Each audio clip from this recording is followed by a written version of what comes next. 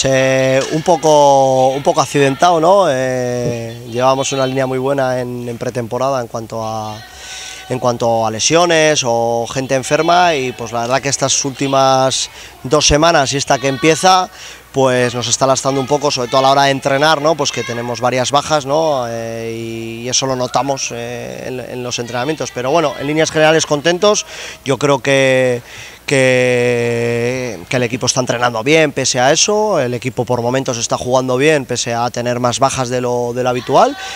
tenemos una plantilla larga, con lo cual mm, el problema no es tan grande. Sí que es cierto que buscábamos crecer ahora en estas semanas de una manera determinada y pues nos ha frenado un poquito la, progresión. El primer partido contra Ardoy eh, ganamos, yo creo que además hicimos un, un buen baloncesto y durante bastantes minutos yo creo que estuvimos muy bien. Y luego el otro día contra Loyola pues nos, nos, nos resultó imposible ganar, eh, fue el, un partido muy complicado por muchas, muchos aspectos en los que pues, aprenderemos y seguro que durante el año nos encontraremos en, en circunstancias de esas y tenemos que, que madurar y crecer eh, como entrenador, como, como, equipo, como club, pues para, para, poder darle la vuelta a situaciones eh, adversas como las que tuvimos el sábado en cuanto a lesiones, bajas o otras cosas. EASO es un rival recién ascendido, eh, va líder ¿no? ahora en la clasificación por la diferencia de puntos. Un equipo que no, que no nos sorprende dónde está o que no nos sorprende que ya haya ganado un partido, que estuviera a punto de ganar en la primera jornada.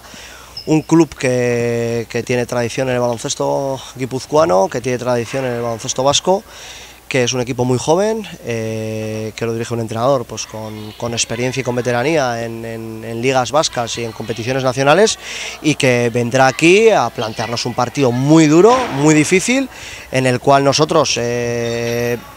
preveemos que no va a ser nada fácil el partido porque además venimos de una derrota con lo cual si eso siempre no al equipo después de perder pues el siguiente partido pues tiene ansia no de, de, de querer jugar mejor de querer ganar y tenemos que controlar un poco ese ansia, ¿no? porque enfrente vamos a tener a un rival pues verdaderamente complicado. Este año hemos decidido hacerlo por, por, fases, es decir, eh, no queremos que todos los fines de semana